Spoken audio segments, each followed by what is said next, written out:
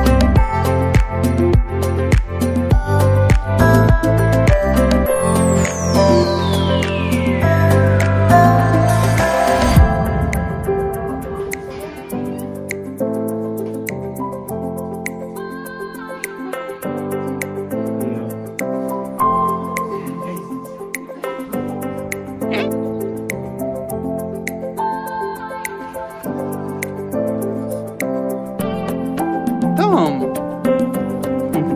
Who will be sleepy today? Huh? Little boy.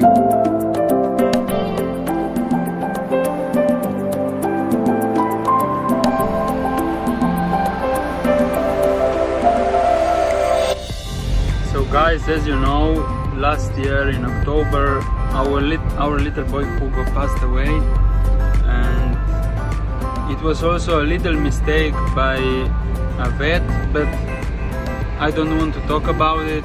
I just want to tell you that we changed the vet. We decided to start going to a private vet. So Tom was today for the first time there and he was a little bit confused and now